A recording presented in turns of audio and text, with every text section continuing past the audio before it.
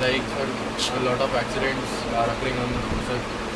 I want to ask that what steps extraordinary you have taken to reduce those mishappenings and अब ये हिंदी समझ लेंगे हाँ हाँ सर बताओ sir a matter of fact, the general people should take care. We can teach them, we can tell them how to protect their life. While driving, we should not use your mobile.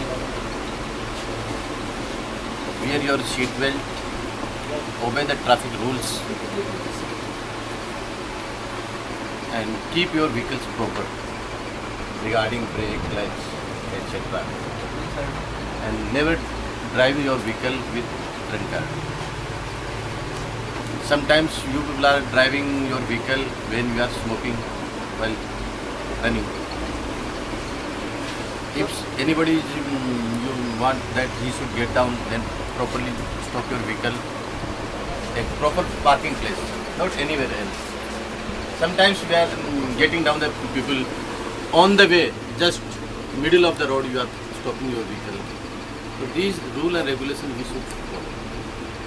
This is our awareness. Due to our awareness, we can avoid the accidents. So Anything else? the students below the age of 18 are driving the vehicles. The strong rules are made, but these are not being followed. Why so? Why, why? Again you can explain. Means uh, as we are the students below the 18, some of us may be driving the vehicles. Strong rules are made for them, but these are not being followed.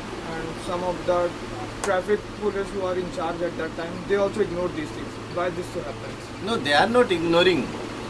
The students below the age of 16, they are escaping from that point while riding or uh, diverting their routes. But only in big cities these uh, hard rules are made, not in small towns or cities. There also accidents are being taken place. Yes, accidents are occurring, no doubt. But uh, our parents should not allow. Why they are giving the vehicles when he is below the age of 16? Because he is not totally matured. And matured person he can drive properly.